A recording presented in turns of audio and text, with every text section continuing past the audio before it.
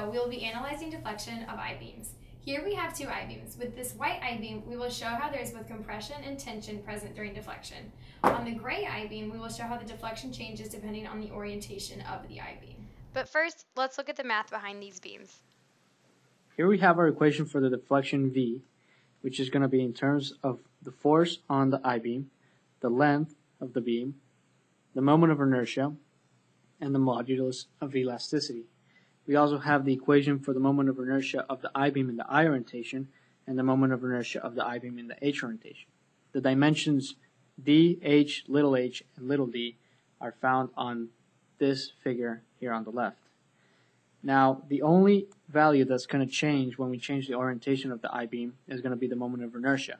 So if we want to find the ratio of the deflection of the H-beam over the deflection of the I-beam, all we have to do is find the ratio of the moment of inertia of the I-beam over the moment of inertia of the H-beam. Now using the dimensions that we have of our I-beam, which are on this geometry here to the left, we found that that was equal to 4.54.